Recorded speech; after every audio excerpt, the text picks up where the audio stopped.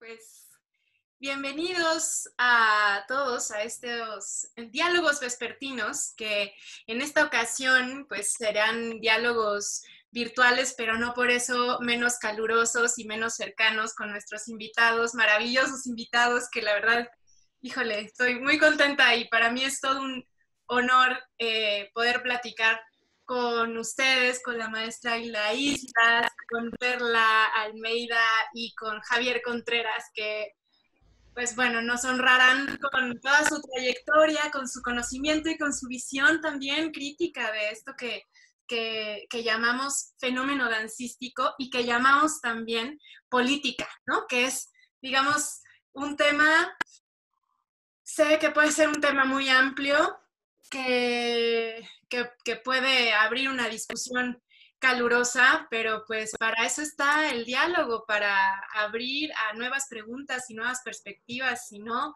pues, de qué se trata esto, ¿no? Entonces, eh, pues justamente lo, de lo que tratan estos diálogos vespertinos, pues es de la expresión dancística como postura política.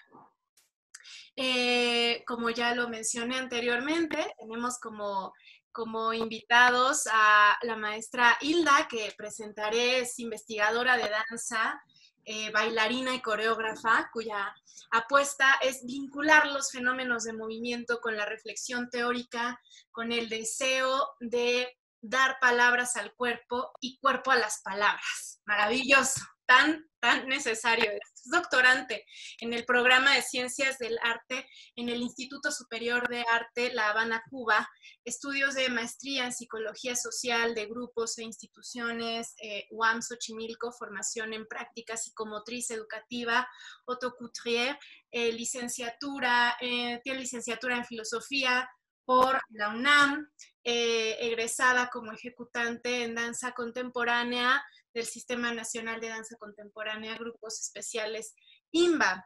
Es autora también de eh, El juego de acercarse y alejarse, que se los recomiendo ampliamente, es un maravilloso libro, si quieren justamente adentrarse al tema del, performance, de las tecnologías corporales, es buenísimo.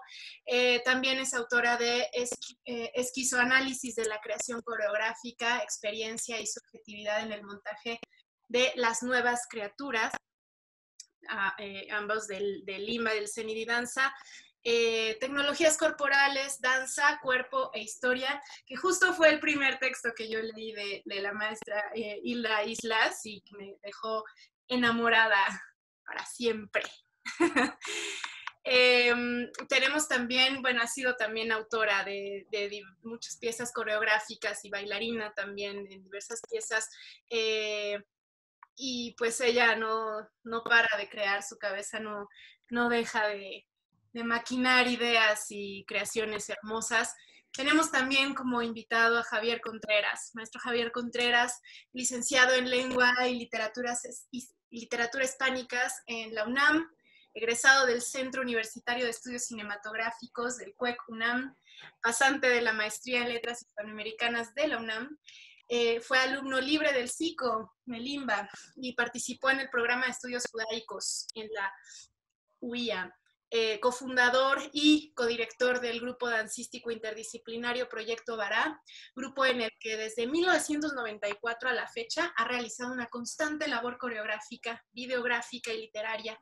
Actualmente es el director del Centro de Investigación Coreográfica, profesor en la Escuela Nacional de Danza Clásica y Contemporánea de Limba y asesor de la maestría en investigación dancística del CENI de Danza José Limón de Limba. Como intérprete y coreógrafo, videoasta, eh, docente, ha participado en festivales y encuentros en México y en el extranjero. Ha publicado cinco poemarios, artículos especializados sobre danza y literatura y el libro Targum en una botella, Cartas desde la danza, editado por Imba Conaculta. Es miembro de la Red Sudamericana de Danza y de Movimiento en Red. Tenemos también como invitada a Perla Paola Almeida Acebo, que tiene una formación bien particular y bien interesante. Ella, desde el 2006, está especializada en danza contemporánea por el IMBAL. Actualmente pertenece a la comunidad Arte Sure desde el año 2012 como bailarina y coreógrafa. Ha intervenido en trabajos de laboratorio para diversas propuestas, convocatorias y proyectos independientes. También tiene la licenciatura en Mercadotecnia por la Universidad del Valle de México. Eh, está certificada en reconstrucción virtual en casos criminales. Es fue colaboradora como miembro del comité organizador en el primer Congreso Mundial en Ciencias Forenses y Valoración del Daño Corporal, eh, la danza para ella es un construir diario de su ser, de lo cotidiano, de la vida en sí y de sus allegados, así como a toda persona espectadora de un cuerpo que habla lo que en palabras no se alcanza a decir. Bellísimo y además muy emocionante para esta, empezar estos diálogos, eh, pues que abre la Cátedra Gloria Contreras de la UNAM para todos ustedes. Yo, además de darles la bienvenida y ya darles la palabra, por favor, eh, quisiera preguntarles, ¿qué es la política para ustedes? ¿Quién quiere empezar? Hilda. Ok, ¿sí me escuchan? Sí. Perfecto. Pues funcionó esto del micrófono, entonces va bien. Bueno, mira, yo eh, cuando eh, propusiste esta mesa, Raiza, yo eh, sí me, puse a pensar realmente, de verdad que a veces son conceptos que uno ha trabajado de diversos modos a lo largo de, pues, de toda la vida académica profesional. Y de verdad que me, me fui a un diccionario, ¿no? Entonces, este, bueno, finalmente como que reencontré el hilo de, esta noción y pienso que hay como fundamentalmente dos, niveles, ¿no? Una, esta noción de política como noción occidental moderna asociada al Estado, ¿no? Asociada a estos programas de constitución de, nación, en donde la política tiene que ver con estas estructuras eh, conscientes de, eh, del debate y de, y de, las, de las luchas, digamos, en, en cierto momento histórico. Y otra noción de política sería algo más relacionado con, con lo que Foucault habla eh, o enuncia como la microfísica del poder, ¿no? O sea que finalmente, aunque no estés eh, consciente, aunque no tengas un programa político explícito, tu cuerpo, tu ser como, como ser social están determinados por el juego de fuerza, ¿no? Y en ese sentido, pues todo es político, ¿no? Este decía Bourdieu, a ver, ¿por qué, ¿por qué en Occidente se da la vuelta por la derecha, ¿no? Entonces, en esa consigna corporal está vertido ahí todo el todo un imaginario que se instaura en el cuerpo. Entonces, para empezar, yo sí este, me di a la tarea un poco de diferenciar estos dos niveles, ¿no? Eh, digamos, la política como, como un posible programa consciente, deliberado para intervenir este, en, lo social y por otra parte esta política integrada que llevamos, eh, seamos consciente, eh, conscientes o no. Por supuesto, estas dos dimensiones no me parecen disociadas, ¿no? Me parece que hay un entramado este, entre la conciencia y el, eh, la intervención deliberada y el conocimiento o el rastreo de estos eh, regímenes de, poder y saber que se cruzan en nuestros cuerpos, ¿no? Bueno, eso para, para empezar. Bien, muchísimas gracias, Silvia. Eh, Perla, Javier. Bueno, yo considero la política, bueno, la, mi definición sería que como individuos, al ser parte de una comunidad y ejercer una política desde los derechos y obligaciones que cada uno tiene, hace que contribuyamos al funcionamiento y desarrollo de un bien común.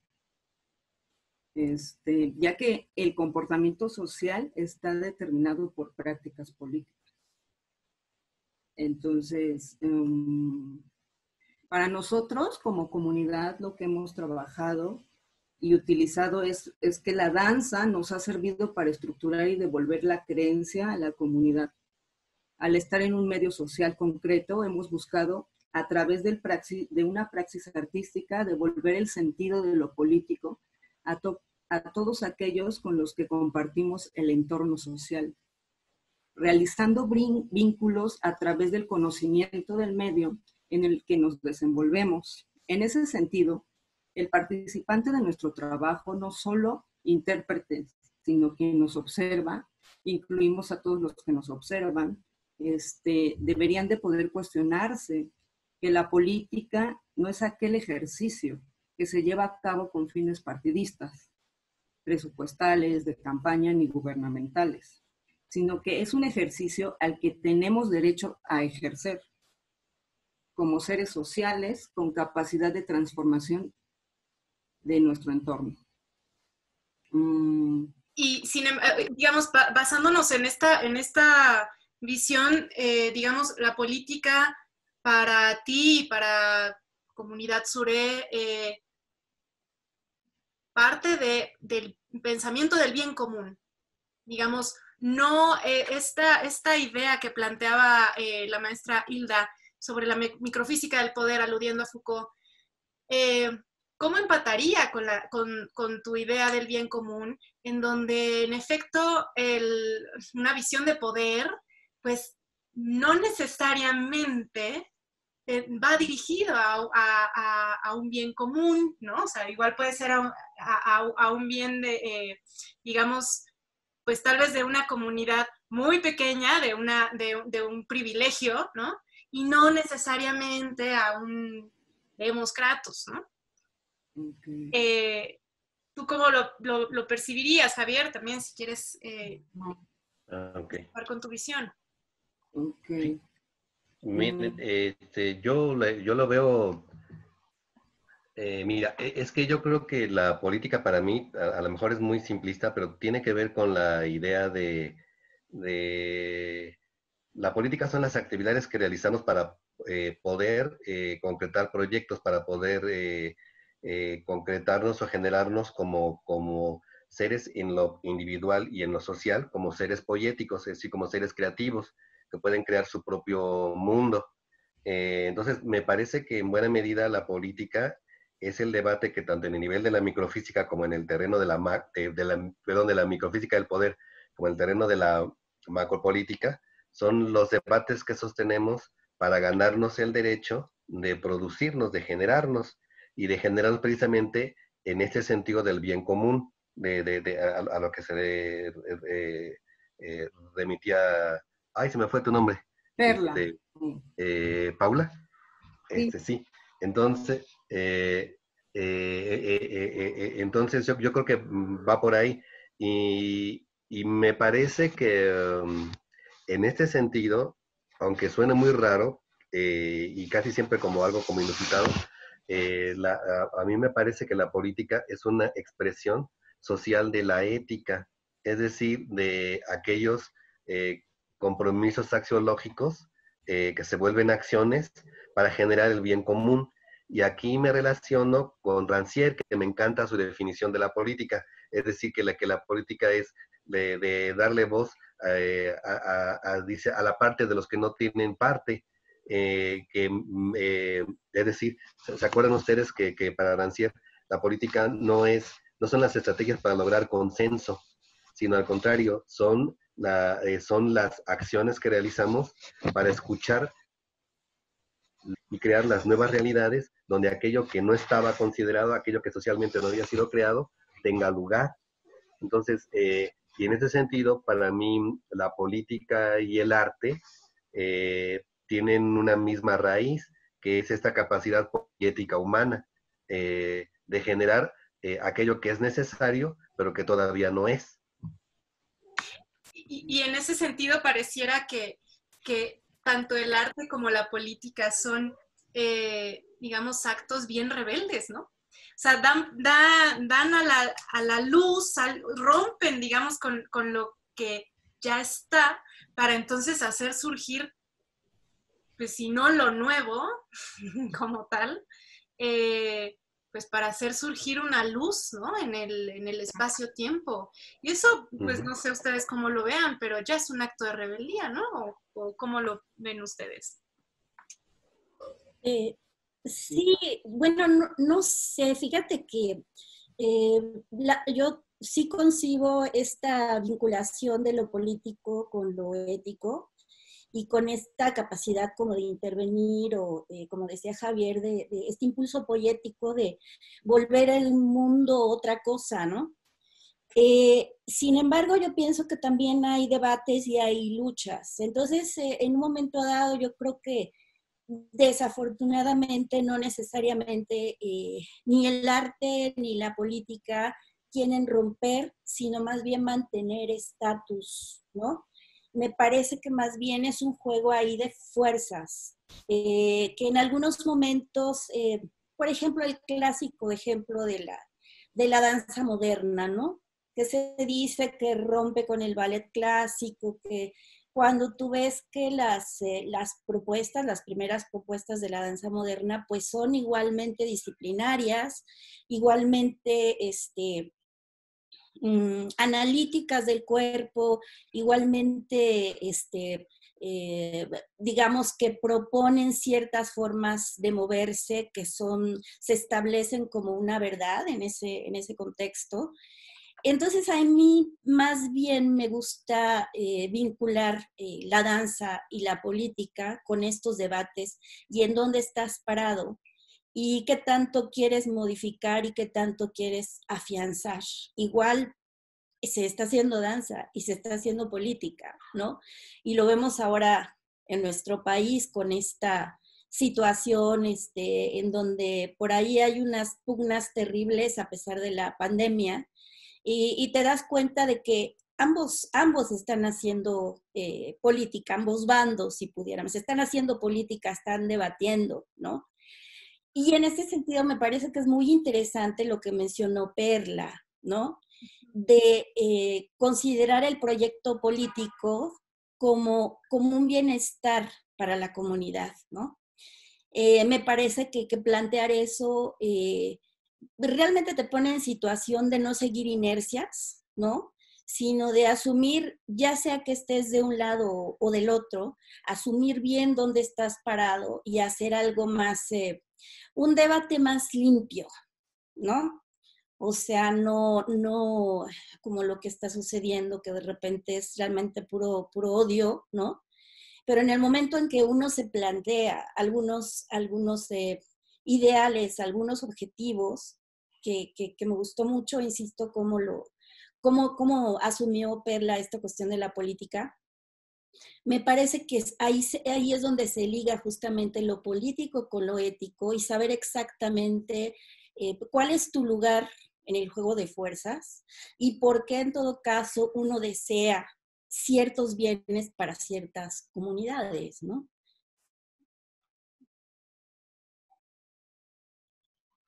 En ese sentido, eh, digamos, ¿qué diferencia verían ustedes entre una danza dándose por sí misma porque, porque el cuerpo danza ya y una danza institucionalizada. ¿Qué, em, en qué ¿Cuál es el sentido político de ambas realidades?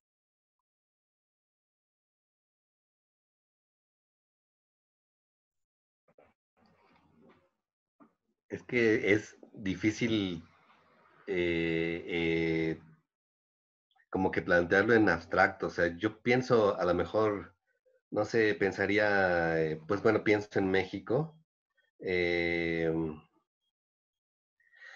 es que es complejo, porque mira, eh, pienso que, en México el, carácter institucional de la danza es uno de los logros sociales históricos mexicanos, porque como resultó de la revolución de 1910, entonces, me parece que la, danza moderna es su continuación a la danza contemporánea, la fundación en escuelas, la, fundación del IMBAL, hasta la fundación del FONCA eh, y, lo lo nuevo de ahora, me, parece que, tiene que ver con, un esfuerzo con un esfuerzo social eh, que se institucionalizó.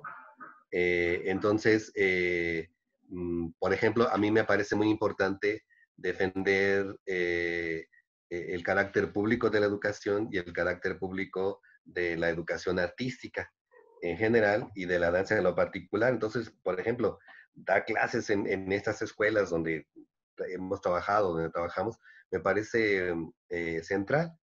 Eh, ahora, ese, es un, ese es un nivel.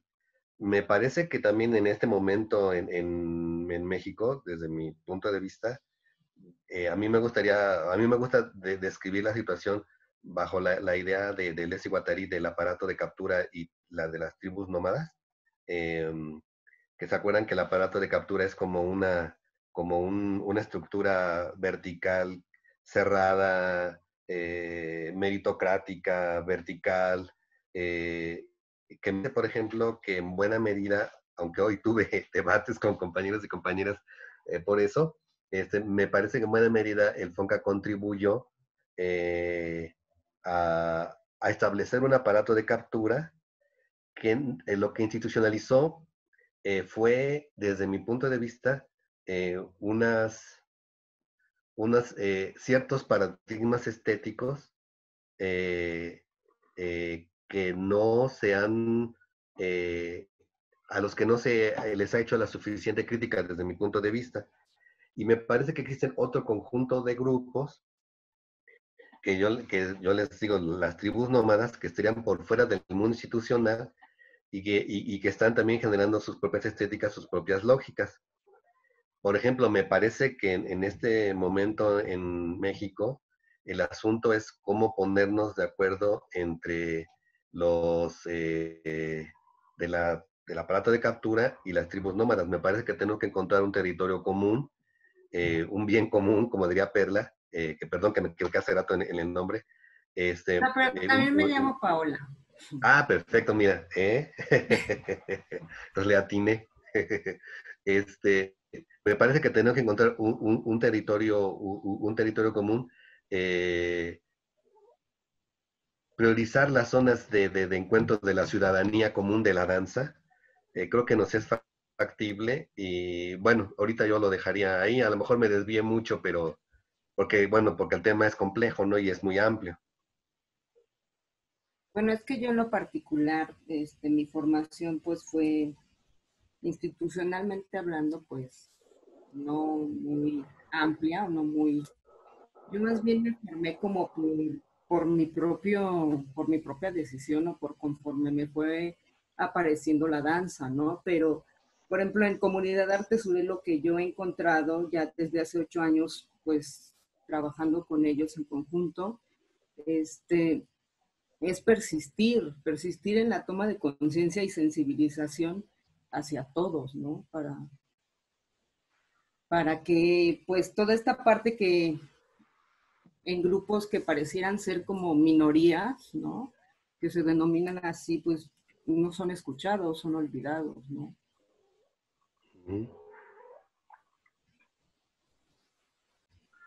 Eh, sí, bueno, yo eh, tengo eh, una pregunta para, para Perla. ¿Nos podrías contar un poquito más de cuál es exactamente tu trabajo con estas comunidades? Sí. Bueno, este, Comunidad Arte Suré surge a partir de los movimientos sociales. Eh, con los estudiantes, el movimiento Yo Soy 132. Este, nuestra, nuestra, nuestra idea, nuestra labor ha sido siempre sensibilizar justo lo que decía, este, a partir de, diversas disciplinas artísticas, no nada más la danza, sino la música, el teatro, la poesía, eh, y buscar estos lugares no convencionales o que muchos pareciera que también, pues no sé si haya como un temor de, habitarlos o de, dudar en que, que, es posible, ¿no? Y que sí lo es y que es necesario. Entonces, Comunidad Arte Suré hace eso. Por ejemplo, hemos participado y bailado para los padres de Ayotzinapa, para, para el multihomicidio de la Narvarte, por ejemplo, ¿no? Entonces, esa es nuestra labor, eso es lo que, en lo que trabajamos. ¿Y cuál es tu, tu, tu vivencia de la, de la danza en esos momentos? Es decir, eh, son momentos bien difíciles, las situaciones en las que ustedes se han expresado, ¿no? Eh, ¿Por qué la danza o por qué el arte, pues? Creo que siempre han sido momentos o tiempos difíciles. Eh, ¿Por qué la danza?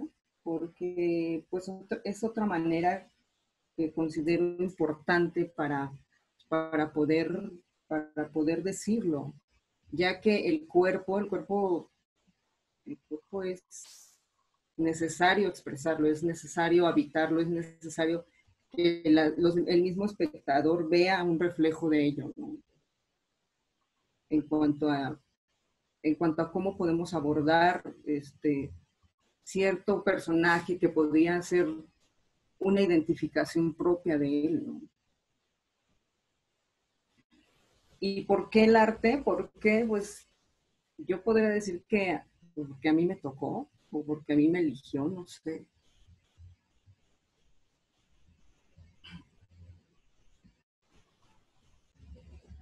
Hilda, ¿qué quieres decir?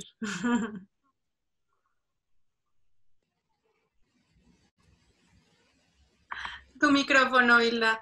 Nos no escuchamos. ya, ¿verdad? ¿Ya se escucha? Ya. Y, pensaba en cómo, eh, cómo se pueden conciliar estos dos eh, niveles, ¿no? De lo macropolítico, lo micropolítico y cómo algunos eh, proyectos de, intervención, de generación de, de bienestar, en un momento dado generan algunos énfasis en lo macro y en lo micro. Eh, y, no sé, de repente se me ocurrió este, hacer un análisis de, aquellas apuestas que se declaran eh, políticas y cómo juegan con estos dos aspectos, ¿no? En algunos momentos quizá ha estado como mucho más eh, eh, enfática la necesidad de establecerse como sujeto político, ¿no? Aunque internamente pueda ser así como eh, eh, tu vida cotidiana pueda ser de, pequeños fascismos, ¿no? Y sin embargo te estás moviendo en, una, en, una, en un planteamiento político este, macro, este, afiliado a, a, quizá movimientos de izquierda, ¿no? Y cómo en otros momentos hay como un mayor énfasis en, en aquella mítica y en aquel trastocamiento de los, de los eh, haceres, de los saber hacer tradicionales para generar otro tipo de experiencia. No sé, se me ocurría este, lo que tenemos en la historia de México en función de estas dos, de cómo se juegan estos dos niveles, ¿no? Este, bueno, esa, esa era lo que estaba pensando y gracias a, Perla por, ahora sí que por resolver la, duda y pues se me hace súper interesante el proyecto. Javier. Es que mira, con respecto a esto que, están planteando las dos, em, pienso varias cosas. Eh, es que pienso que la relación entre arte y política pues es a varios niveles uno podría plantearse en el terreno, digamos, de la dimensión simbólica de la enunciación, en el terreno de la enunciación, que me parece clave. Eh, entonces, yo, yo, me acuerdo cuando este eh, Benjamin, por ejemplo, ¿no? habla del artista como productor y como, habla de que el primer terreno donde el artista o la artista trabaja eh, revolucionariamente o políticamente es sobre sus maneras de, de ejercer el discurso. Entonces, esto me parece un, eh, digamos, un terreno importante. Pero luego hay un brinco, que es eh, cómo la, e, esta autonomía relativa de lo simbólico con respecto a los modos organizativos para producir ese discurso. Entonces es la contradicción que tú estás señalando, este, Ilan, ¿no? O sea, puede haber un grupo con un discurso y, con un discurso realmente en el terreno simbólico muy revoltoso y brillante, y a lo mejor en el terreno de su, de su vida cotidiana ser complejo, ser, ser más bien autoritario. Yo me voy a atrever a nombrar una contradicción de un grupo que quise, que quiero mucho, Valiente Nacional. Los, los, los, quiero, los admiro, eh, disfruté, bailaban como dioses y diosas. Guillermina es un genio, pero también viví con ellos y, y, sé cómo era la estructura de poder bastante eh, oscura. Eh, entonces, hay una contradicción, digamos, entre lo simbólico y la, y la, y la estructura de la comunidad que le daba posibilidad a ese discurso. Entonces yo creo que hay que también pedirse la congruencia entre eso que uno enuncia y la manera como organizamos esas comunidades para producir esa enunciación. Eh, ese, es, eso es un terreno. Y luego hay otro, que es el de la articulación entre, entre el discurso simbólico, la comunidad, digamos, productora y, y, las comunidades con las que se relaciona en, en eh, digamos, en, en, el mundo e, e, extraestético. Ya, aquí me gustaría hablar de una categoría eh, de una investigadora de, de Kennedy, esta Rebeca Mundo, que habla de las poéticas ampliadas. Y ella dice que, que ella quiere estudiar, eh, sobre todo estudiando grupos como el, el, de Perla, que ella le llama danza emergente, dice cómo hay un intento por articular los tres niveles, el, el nivel simbólico, el nivel de, digamos, de política de esa comunidad que produce ese discurso y también las formas de relacionarse con, las, con los grupos sociales a los que se acompañan. Entonces, esto se me hace ya como más, como más complejo, por lo menos ya son tres niveles que habría que considerar, ¿no? Por lo menos. Y bueno, en ese sentido yo creo que sería indisociable esta, este planteamiento que haces de la, de la transición o del deslizamiento dentro de las artes de lo que serían este, la concepción disciplinaria o moderna del arte y las concepciones más contemporáneas que tienden como a desparramar, digamos, esto que antes estaba muy autónomo y muy cerrado, este, eh, justamente para conectarse con otras, con otras, eh, con otras eh, prácticas, saberes y comunidades, ¿no? Entonces yo creo que sí exige, pues esta época, ¿no? Eh, que nos toca vivir, eh, sí, sí exige como una mayor responsabilidad en cuanto a cómo te relacionas, y a, cómo formulas este, los, la, recomposición de las experiencias con las comunidades eh, de trabajo, ¿no? Sí se requiere de una, digo yo, recuerdo mucho en estos eh, eh, primeros eh, años de la danza independiente, en los 70, ¿no? Era muy sabido que, este, bueno, los bailarines se formaban académicamente, salen a las calles, empiezan a, a, este, a vincularse con otras comunidades y trasladan la clase de los profesionales a las casas de cultura, por ejemplo, ¿no? En un primer momento como que era simplemente sacar, seguía la esfera de autonomía, ¿no? Como, como valor máximo de lo artístico y se, iba, se implantaba como una especie de, este, ah, una especie de réplica a mayor escala en, eh, para el trabajo eh, con las comunidades, ¿no? Y yo, yo, creo que ahora, este, bueno, desde hace décadas ya este, se está trabajando más bien en cómo diseñar los dispositivos de trabajo, ¿no? Y a mí me parece que hay, hay necesariamente una, eh, debe de haber un, mínimo de conciencia política y ética para que tú puedas eh, elaborar o, conectar con una comunidad de manera pertinente, ¿no? Me parece es una apuesta actual que eh, si antes en, en, algunos otros momentos de la historia del arte en el mundo te podías sentir un artista que solamente tenía una responsabilidad con su arte, ¿no? Eh, ahora realmente es una, o sea, es imperativo que haya esta conciencia y esta elaboración eh, programática eh, para trabajar con respeto y pertinencia con, con, otros. En ese sentido, ¿cuál, ¿cuál ha sido su búsqueda eh, personal, digamos, eh, Perla nos habló ya un poco, ¿no? De, lo que busca con Comunidad Suré y, digamos, desde esa, pues, fuerte convicción. Y Javier, Hilda, eh, Perla también ahonda más en ello. ¿Cómo van reflejando justamente ese carácter simbólico en sus comunidades, en su propia expresión? ¿Cómo lo han hecho ustedes?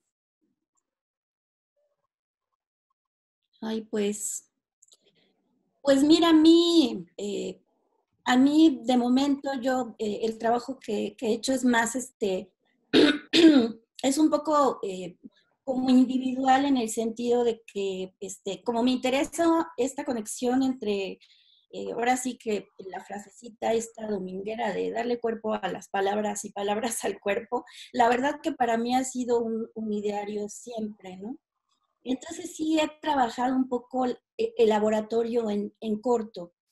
Y este, sin embargo he tenido, digamos, la, la posibilidad de, de, observar, de retroalimentar eh, gente que, que, está buscando eh, como que salirse o como hacer, más que como salirse, como hacer las conexiones entre estos campos de saber académicos y los campos de la práctica artística. Hace bastantes años, este, ya no me acuerdo exactamente cuándo, pero eh, hicimos una especie de seminario. Eh, incluso nuestro salón estaba ahí en, el, en, la Biblioteca de las Artes, nos, nos dieron ese, ese, Y fíjate, bueno, ahorita hago memoria de, de cuál fue el, el, arraigo este, logístico, pero el taller se trataba de que eh, eran, eran artistas que estaban buscando la manera de diseñar un, talleres o modelos de intervención de una manera pertinente, ¿no? Es decir, ya era un problema, ya era un problema para ellos. No solamente llegar y estructurar una clase, o sea, no se asumían como maestros, sino como gestores, ¿no? ¿Y cómo hago llegar este tipo de trabajo corporal que yo quiero a esta comunidad específica.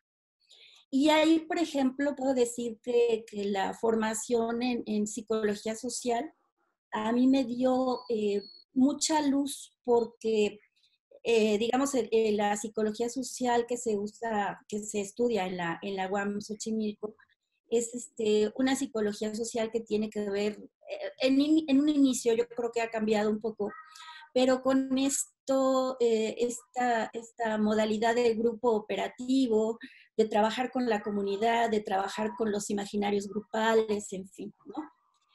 Pero eh, se toma muy en serio esto de la intervención. Y entonces tú para intervenir tienes que hacer un diagnóstico, tienes que ser consciente de, quién eres y por qué estás interviniendo. Si te están pidiendo una intervención, si tú quieres intervenir, o sea, cómo está el asunto de la oferta y la demanda de la intervención, ¿no? Y de posicionarse responsablemente eh, e, e, en ese contexto, ¿no? Oye, si tú quieres, si tú detectas una necesidad en un colectivo y quieres acercarte para solucionarlo, pues tienes que ver primero cómo se lo plantean ellos. No es nada más tu deseo, ¿no? Entonces, este, eh, y, también si te están pidiendo una intervención, saber qué problemáticas hay, este, perdón si oyen por ahí un maullido de fiera salvaje, este,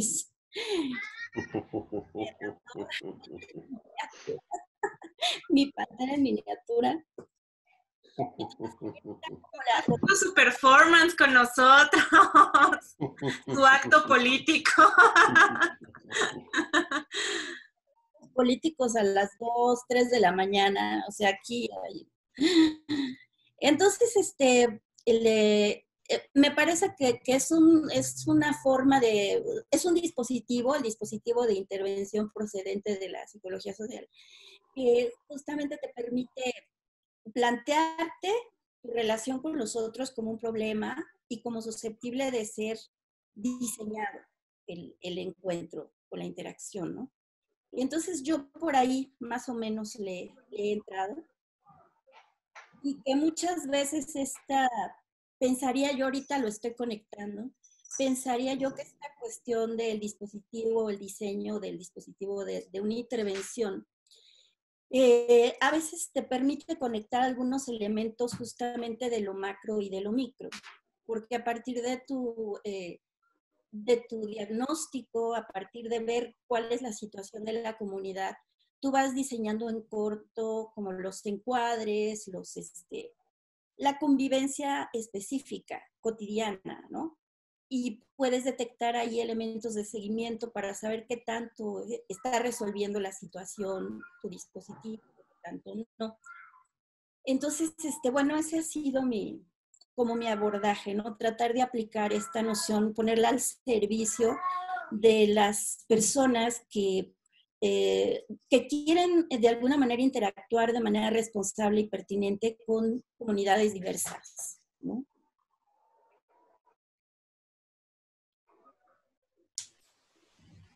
Bueno, yo quisiera como poner mayor énfasis en la participación que vamos a tener en, en el mes de marzo.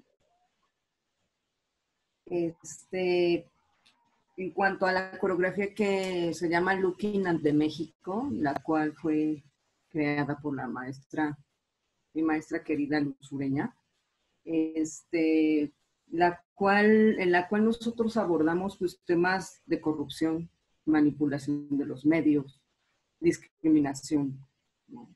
Entonces nosotros, justo esta pieza coreográfica está en una constante reestructuración interpretativa, de acuerdo a lo que va sucediendo allá afuera. Eh,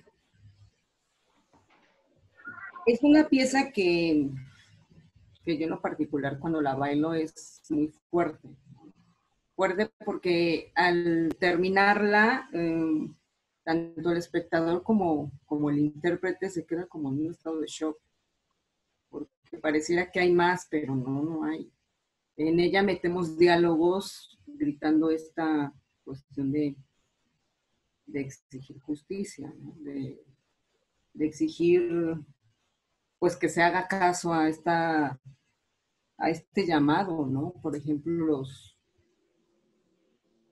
las cosas, los acontecimientos que, se vuelven una cifra, ¿no? Entonces, este, pues yo me quedaría con una frase que a nosotros nos gusta mucho, que nosotros bailamos para que la justicia nos alcance a todos y nos alcance pronto. Yo en, mi caso es como eh, es decir, eh, yo lo trabajaría como en varios niveles. Eh, primero, la enorme alegría de haberme topado con la danza. Bueno, en la danza desde que era niño la, la veía. Y alguna vez pensé que podía estudiar danza, pero como siempre fui más bien de letras, entonces como que me fui por ahí. Pero luego en el año 85 pues me volví a topar con la danza en la calle, en el, más bien en el 86 también en no sé cuántos callejeros.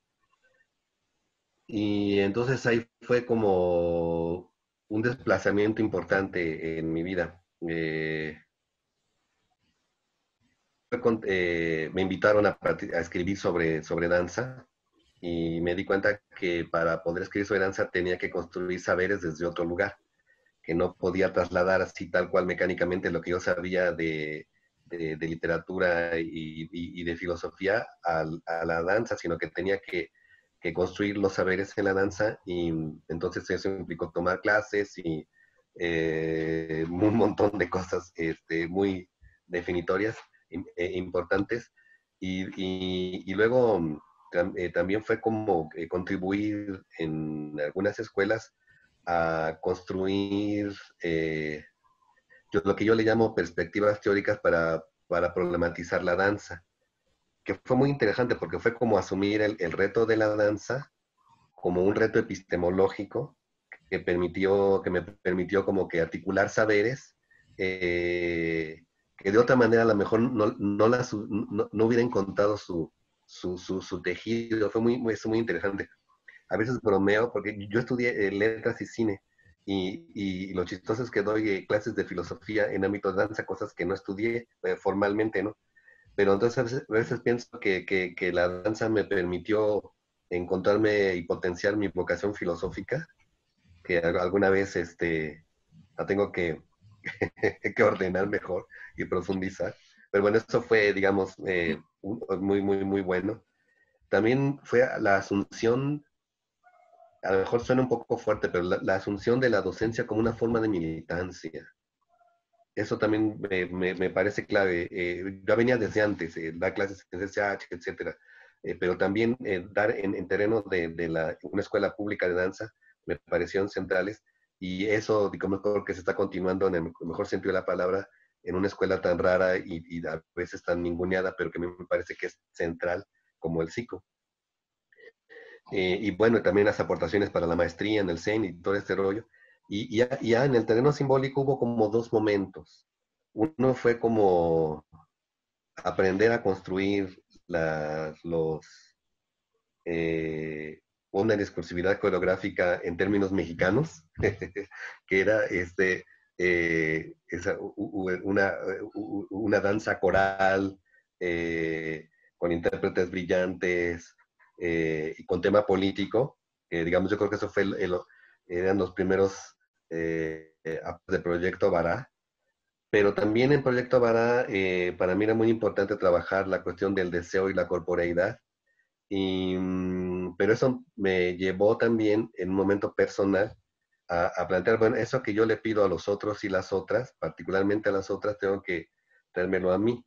Y entonces, eh, tomando en cuenta esto, esto de que lo personal es político, entonces, ¿cómo hacer una, una problematización crítica del sujeto masculino que, que, yo soy y que en ese momento era un varón de 50 años. En este momento soy un poco más grande. ya estoy en, zona de riesgo para el coronavirus, ni modo. Y este, y, mm, eh, eh, pero fue, fue, importante esto y también fue darme cuenta de que había cosas que tenía, que, que no se pueden más que bailar en primera persona. Y esto a su vez me relacionó con la enunciación poética en primera persona. Entonces era como enunciar en primera persona eh, corporal, viril, hetero, problematizándola. Y esto ha sido como que el trabajo de, de, los últimos años. pues bueno, básicamente ha sido este de, desplazamiento. Me gustaría recuperar y profundizar cosas, este, porque bueno, también por los últimos años, que los compromisos de los últimos años, no he podido desarrollar esta vertiente, bueno, eh, creativa como yo hubiera querido. Eh, pero bueno, básicamente eso sería la manera como lo, como creo que fue mi recorrido. Justo a partir de lo que, pueden compartir ustedes en estos momentos, eh, y pensando también en tu, creación, Javier, me viene a la mente algo que, que Hilda puso sobre esta mesa imaginaria em, al inicio de la conversación y es cómo la danza, digamos, presenta al cuerpo de tan diversas maneras que esas, esas diversas maneras se convierten también en un deber ser, ¿no? Eh, o pueden convertirse en un deber ser. Pienso específicamente en la desnudez, por ejemplo, ¿no? En, ¿qué es, cómo debe presentarse el cuerpo en la escena, por ejemplo, o cómo debe moverse un cuerpo que realmente dance. Eh, este tipo de, juicios, ¿no? Son juicios reales y que se dan, muchísimo. Em, ¿Ustedes cómo los, cómo los han interpretado también en su propia creación, ¿no? Eh, cómo se han revelado ante ellos eh, y, de qué manera también podríamos trascenderlos, ¿no? Y, como bien dice Perla, llegar también a una, a una visión de bien común, pero también en respeto a, la a las diversidades corporales, ¿no? O sea, eso también es parte de un bien común. Digamos, poder respetar la diferencia, poder eh, dejar también de juzgarnos como bailarines de un, desde un punto de vista, desde una, más bien, perdón por la, la tartamudez, pero, pero es que se me vienen muchas, eh, muchos juicios a la mente sobre el físico eh, joven o viejo, el físico gordo o flaco, la piel perfecta o imperfecta, el vestuario perfecto o el vestuario mediocre, ¿no? Eh, ¿Cómo se van a presentar desnudos en el escenario? ¿Cómo se han atrevido, no? vamos, toda esta eh, lluvia de, juicios, pues también politizan muchísimo a la, a la visión escénica, ¿no? Entonces, no sé ustedes cómo pueden percibirlo. Pues mira, este, Yo, yo me considero muy, muy afortunada, muy afortunada porque, bueno, siempre amé la danza, la música, o sea, yo creo que por cuestión de familia como que estuve muy cerca, sobre todo de la música, ¿no? Y este, y, pero además, eh, yo creo que desde antes de entrar a, filosofía, que fue mi licenciatura, ¿no? Yo tenía muchísimas preguntas sobre, sobre las artes, sobre el movimiento, ¿no? De hecho, entré a filosofía porque yo quería estudiar eh, estética. Eh, yo decía, bueno, pues este, son nada más dos semestres, pero no importa, yo me he hecho filosofía, ¿no? Eh, no me latía tanto historia del arte, porque realmente, aunque también lo pensé, pero más bien yo me problematizaba cosas, ¿no? Entonces, este, fue de alguna manera muy afortunado poder estar este, en el sistema, en los grupos especiales, y además estar estudiando filosofía. Me hicieron así unas conexiones este, para mí siempre fue muy claro que eh, yo quería las dos cosas, ¿no? Eh, yo sí me, me, partía en dos realmente porque sí era, y de repente hubo una época en que estuve bailando. Y en ese entonces, sobre todo, yo creo que sigue siendo así, pero, pero han cambiado eh, las cosas, pero en ese entonces realmente estar en un grupo independiente era estar como de tiempo completo, en esa época, ¿no? a mí como que me faltaba la otra parte, ¿no? Y siempre estuve así como en un lado y en otro.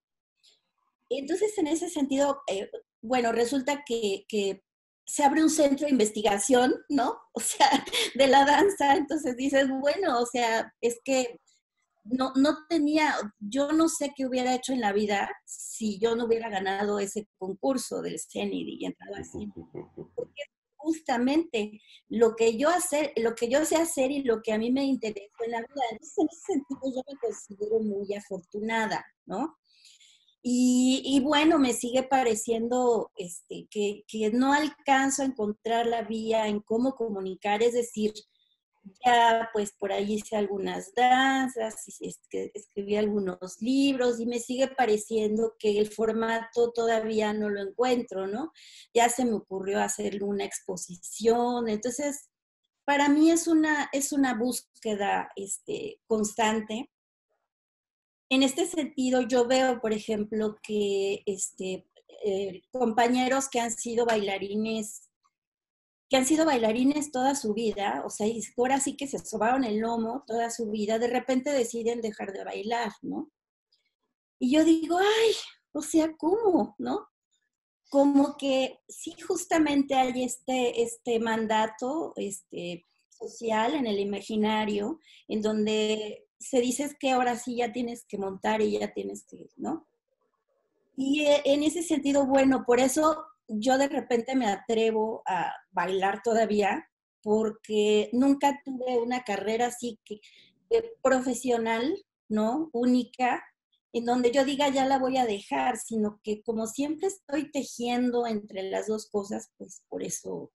Y luego ves a estas mujeres alemanas, ¿no? A las bailarinas alemanas, este, que yo admiro tanto, que bailan hasta que no sé cuántos años tienen y la Dore Hoyer, ¿no? Bailando ahí a los 52 años, afectos humanos, de una manera que dices, este, no sé por qué eh, hay ese mandato de decir, se acabó tu carrera.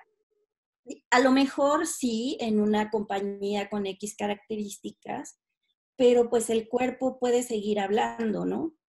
Y sí me parece que es, es este, tremendo que, sobre todo cuando cuando ves que la gente cuando, cuando madura, cuando envejece, toma una fuerza expresiva que no tiene un cuerpo joven, pero no estamos acostumbrados a valorar eso y pienso mucho en Ana de Linton, por ejemplo. Entonces, este, yo creo que los tiempos están cambiando y, y yo sí votaría. Yo sí votaría y quiero trabajar justamente para generar formatos que den voz a, los, a las ideas y a los cuerpos de una manera que no sea este, que no se concentre tanto lo corporal, que te desconecte de lo demás y que cuando se acaba lo corporal ya se te acabó todo, ¿no? Sino que puedas ir cocinando, eh, articulando otras formas entre el pensamiento, el cuerpo, la palabra, la conexión, la interacción con los otros. Yo creo que es una búsqueda. Yo pienso que está cada vez más extendida y, y bueno, pues ojalá y se sigan produciendo muchas, muchos formatos y muchas apuestas, ¿no? Para manifestarse de maneras más híbridas, lúdicas, ¿no? Y yo lo que considero, a partir de lo que acaba de mencionar la maestra Hilda junto con la maestra Raiza, y tomando un poco de las cuestiones institucionales, creo que sí también hay una cuestión que, pues yo he vivido en procesos, por ejemplo, cuando me invitan al CNA, ¿no? A bailar en procesos ya para su titulación, por ejemplo, en el psico, veo que sí hay una cuestión en la que a los alumnos se les mete como cierta idea también, erróneamente. Entonces, hablar de esta cuestión que dice Raiza de, este, pues, cómo tú defiendes también tu idea de creativa, ¿no? Para decir, bueno, yo bailo así, ¿no? Yo considero que todos los cuerpos podemos bailar, todos, todos, ¿no?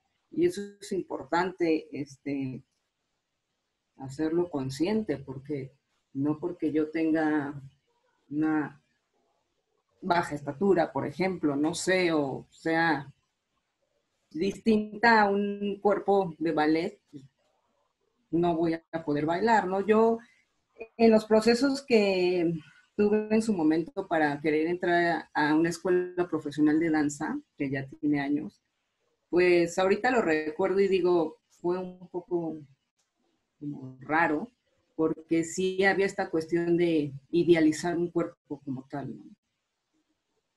Y siento que por ahí, por eso no, por ejemplo, no, no me quedé en ese entonces, ¿no? Pero eh, hace un mes una compañera de la escuela Nelly me hizo como una entrevista para su titulación porque ella estaba recabando información en cuanto a los procesos de de, entrar a una escuela profesional, ¿no? Entonces yo le dije, mira, pues yo te puedo dar mi testimonio, ¿no? Le hablé de mi, pues de mi quehacer dentro de la danza y me dijo, pues es que me parece sorprendente que tú por tu cuenta tú hayas elegido persistir, ¿no? Y sí, yo para mí la danza es, pues es una posibilidad y es una oportunidad de sentir muchas cosas, ¿no? Muchas. Javier. Mira, con respecto a estas preguntas que nos haces, eh, es que nos haces puras preguntas complejas. este, no, está muy bien. Eh, pero mira, es que pienso varias cosas. Eh, una, me acuerdo que también una vez que no pude asistir porque creo que andaba de viaje, que era un debate que, que, tú abriste sobre la relación entre belleza y danza algo así, si no mal recuerdo. Con, coloquio sobre la fealdad y lo grotesco en el cuerpo. Exacto. Y, yo me acuerdo que ahí eh, pensé, bueno, si eh, concreté algunas ideas que ya venía yo pensando con respecto a la danza mexicana. Eh, yo ahí, decía que yo siento que, que, la cultura mexicana o la sociedad mexicana vive tiene una lucha con las categorías opresivas de la belleza, porque yo pienso que dentro de la experiencia de la blanquitud eh, occidental, una de las formas de concreción de esas opresiones diversas de la blanquitud es, son los paradigmas de la belleza. Y resulta que la mayoría de los mexicas y, los y las mexicas, pues no coincidimos con esos, este, con esos parámetros. Y creo que a mí me da la impresión, a veces pienso que la danza mexicana, eh, con su feroz esteticismo, que la ha recorrido por décadas hasta el presente, yo creo que es una especie de, decisión eh, eh, estética, política, social, de ganarse el derecho a habitar la belleza. Lo cual por una parte me parece muy bien, pero por otra parte también me parece que sigue siendo una tributación a esos paradigmas de la blanquitud. Entonces pienso que en buena medida nuestras escuelas de, de, de, dancísticas, ahí sí la verdad es que el psico sí hace otra cosa. Ahí sí nosotros ni, ni la edad ni, ni, ni, ni, ni, ni, cuestiones eh, de belleza corporal tienen que, que, ver en el proceso de selección. Pero bueno, eh, eh, entiendo pues que, que, hay un que hay una apuesta por ese habitar la belleza que me parece que atraviesa toda la danza mexicana, tanto la moderna como la contemporánea, y yo diría que hasta la posmoderna. Y, y, que tiene que ver con este debate, porque yo, yo por eso decía, tenemos que ponernos de acuerdo con Julia Pastrana, con, con, la mujer más fea del mundo. Tenemos que... que, que Recuerdo muy bien ese escrito, maravilloso, sí. Sí, que, que tenemos que dialogar con, con, con, ella. Y, eso por una parte. Pero ahora, también pienso que, que, desde mi punto de vista, que no hay que confundir esa tributación de la belleza con, con la capacidad de tener una, un entrenamiento que te permita problematizar, eh, digamos, cultura cinética consensuada o habitual. Eh, pero, eh, pero esa capacidad de, de, digamos decir, de saberes técnicos no, no, no, no te debe de atar a una discursividad específica, sino más bien como que abrirte posibilidades de, de, de abrir diversas, este, eh, ¿cómo se llama? sí, de, diversas experiencias de kinesis y de cuerpo. Y lo que más me gusta, y, y, por lo cual yo, yo me sentí muy liberado cuando conocí también a compañeros de, de la danza de, América del Sur, eh, fue que, que, me acuerdo Lucía Russo, eh, a quien admiro profundamente, me, me dijo, Javier, hay que tratar de construir los cuerpos para cada obra. Y claro, me dice, eso es súper difícil, no, casi no lo conseguimos, pero ese debe ser el intento. Y yo creo que sí, que se debe el intento. Y yo creo que uno de los eh, una de las circunstancias eh, afortunadas de este momento en la danza es precisamente el plantearnos que eh, podemos interrogarnos desde diversas corporeidades de, de, acuerdo a decir, no tenemos que tributar estéticas previas. Eso me da mucho gusto. Y con respecto a la desnudez es muy interesante porque eh, yo creo que la danza es un oficio de desnudez. Aunque estés vestido con máscaras y, y, demás, me, me, da la impresión de que el movimiento desnuda. Eh, y, que entonces eh, es, es una corporeidad que al ponerse en situación escénica se coloca en situación de vulnerabilidad. es, es, una, y, yo digo es poner el cuerpo y dar la cara.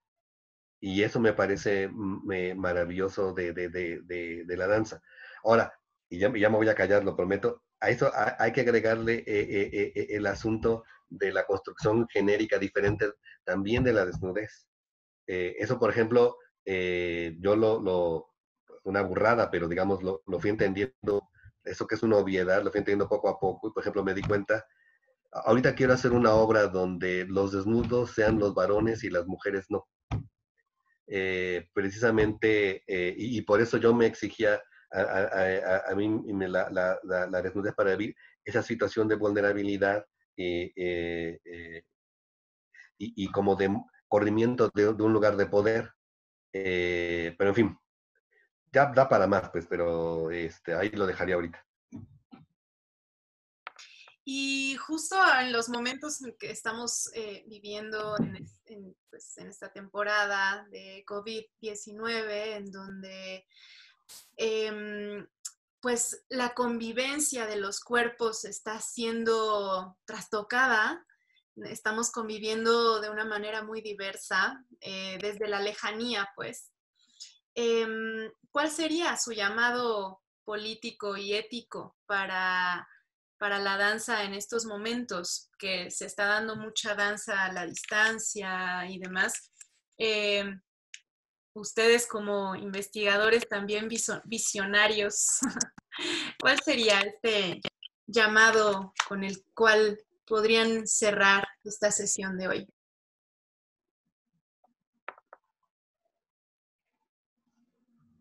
Bueno, yo tengo, tengo dos experiencias eh, muy concretas. Eh, en realidad yo creo que estamos como bombardeados este, ahorita por, eh, bueno, ¿qué es lo que quiere la gente de danza siempre? Pues entrenarse a hacer su clase o moverse de alguna manera. Yo pienso que este, en ese sentido se hizo un boom, ¿no? De, eh, compartir clases en línea, ¿no?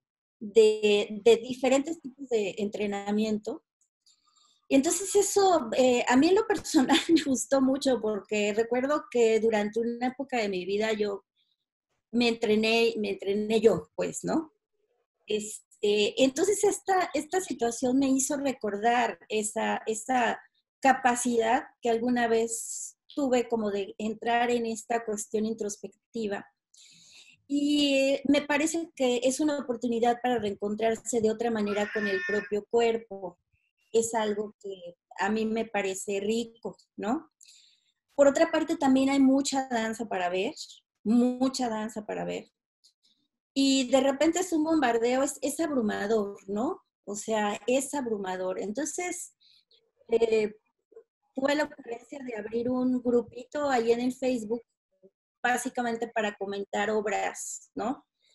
Y yo pienso que el reto es poder quedarse con poco material de esta tanta, este, eh, tanta variedad, ¿no? Poder elegir un material en el que te puedas quedar un poquito, ¿no? Y darle, darle ese tiempo. Vaya, el, el mundo se paró y el Internet se puso así, ¿no? A girar. hay, que, hay que pescar algo de ahí y darse como la calma de, este, de elegir y de degustar, porque aparte están subiendo materiales de muchas páginas que, estaban cerradas, que tenías que tener eh, eh, alguna, ser un usuario o hacer un pago, ahorita las están abriendo, ¿no? Hablamos de danza, pero también de museos, de libros, o sea, la oferta está así, como que dices, realmente las 24 horas aquí en mi casa no me van a alcanzar, ¿no? Y entonces yo pienso que es un reto eh, eh, eh, esta cuestión como de ver poco y sobre todo a mí lo que me, lo que me, me viene el deseo de conversar mucho, ¿no? Esa, esa, ese término me gusta ahorita, tratar de conversar sobre tanto de eso que tenemos a disposición, poder tomar una cosa y poderla tejer entre varios, ¿no? Bueno, esa es una experiencia muy inmediata, pero sí quería decirla porque realmente es, este, es abrumador lo que, lo que se está compartiendo y, este, y yo pienso que estas otras formas de, que tendríamos que proponer formas como de eh, como de usar los materiales y ponerlos en favor del diálogo eh, con los otros, ¿no? Buscarle, porque yo pienso que ahorita muchos estamos sorprendidos y no sabemos muy bien qué hacer con esta oportunidad, con esta posibilidad. Y en lo que nos vemos, yo creo que diseñar pequeños juegos de interacción, este, no sé, para, para disfrutar entre varios este, pocos materiales, pues se me hace como, como el reto, Yo pienso un montón de cosas con respecto a la, danza y, esta situación. Eh, por ejemplo, eh, pienso que en general en, la, en el gremio de la danza tenemos la ilusión de que la muerte es un asunto estadístico, pero no definitivo.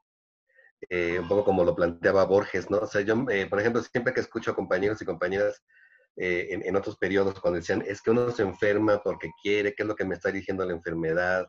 En realidad es como si fuera un asunto como de descuido de la voluntad o del ánimo y que no existiera el mundo eh, que, que, también te puede enfermar y, y, que además eh, estamos organizados biológicamente para, para perecer, porque es una cortesía del individuo a los otros individuos de la especie. Hay que irse, no hay de otra. Entonces, eh, pero entonces, pero me da la impresión de que a veces en la danza hay esta ilusión de, que si nos, si respiramos bien, si hacemos nuestra clase, si comemos no sé qué, ya la libramos. Y creo que ahorita el, coronavirus nos, nos, nos, demostró, no la libramos. Podemos tener una muy buena calidad de vida, pero, pero la finitud es inevitable. Entonces, eso me parece un elemento eh, central, digamos, para, lo, para la gente de, de, de, danza. Luego me conmueve, igual que a Aina, me conmueve profundamente esa necesidad de compartir las clases, porque además veo que comparten desde los grandes maestros hasta gentes que, que, que, para los grandes nombres a lo mejor no son. Entonces mí me encanta que se multipliquen, que se multiplique la generosidad y que esté esa generosidad eh, colocada en términos democráticas en, en, las redes. Eso me fascina. O sea, el que quiere compartir su clase, la comparte. a lo mejor es nivel básico 3. ¿Y qué importa? Lo importante es la generosidad de compartir tu, tu, tu saber corporal. Luego se me, se me, hace bien importante que básicamente lo, lo, que, lo que estamos compartiendo son lo que, yo, lo que yo llamo el carácter civilizatorio de la danza. A lo mejor no es lo simbólico, no es lo enunciativo, pero sí eh, esto que te permite habitar, eh, como decía Perla, esto que te permite habitar con gozo y, y, salud y, poder tu cuerpo, creo que e, eso me, me, encanta que se esté, digamos, democratizando, generalizando. Luego, eh, ya me encanta mucho, pero ya, ya me voy rápido. Luego, me, me, pidieron que escriba en un, para la Jiribilla, una revista cubana, una cuestión sobre la danza y, este momento de la pandemia, y yo decía que para mí la danza en este momento, para mí es clave por varias razones. Uno, digo, porque cuando uno se mueve, el cuerpo se alegra. Y entonces yo digo, eh, la danza nos, nos permite saber que somos finitos, pero que en esta finitud, en, eh, eh, en este cuerpo finito, la alegría en esta tierra es posible, porque cuando tú te mueves, el cuerpo te sonríe. Entonces, eh, eh, en, esta tierra no es obligatorio habitarla como, valle de lágrimas, sino que la danza que puede ser vivida como una experiencia de, júbilo, de alegría, en tu primera experiencia inmediata, que es tu experiencia corporal. Entonces, eso me gusta, digamos, mucho. Luego, me parece que también la, danza remite al asunto del cuidado.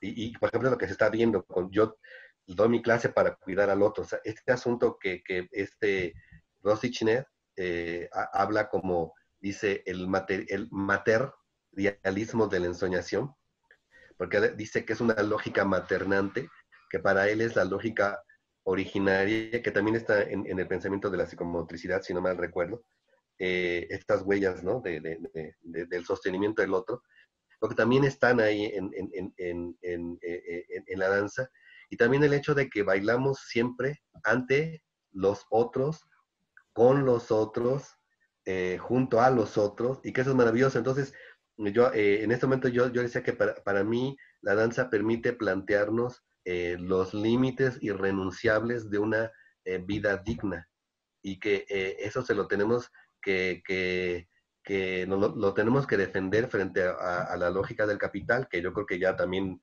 la, la, pandemia demostró que es un desastre, ¿no? Entonces, por lo menos si, si tuvo momentos de, de, generación de fuerzas productivas, en este momento eh, como que está complicado, ¿no? Más bien va asentando las posibilidades de, desaparición de la especie.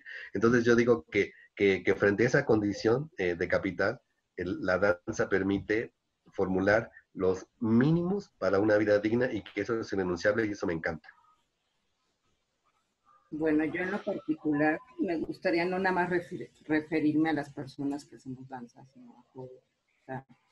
yo creo que son momentos en los que también tenemos que reconocernos, reconocer al que tenemos al lado, permitirnos habitar cosas que con el cuerpo a lo mejor hayamos olvidado, hayamos abandonado por mucho tiempo.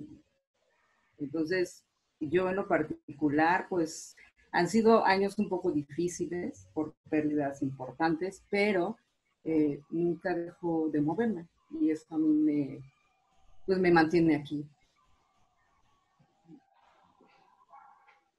Pues de verdad ha sido un gozo que se hayan movido los pensamientos en este espacio, que aunque sea virtual, créanme que con sus ideas, con sus palabras, los sentí aquí cerquita y mm, se los agradezco infinitamente y pues qué mejor manera de celebrar justamente el Día Internacional de la Danza con estos diálogos, ¿no? Eh, se los agradezco muchísimo. En este momento nos despedimos. Gracias. Gracias, maestra Gracias a ti, gracias a ustedes. Gracias, bienvenidos a casa. Muy bien.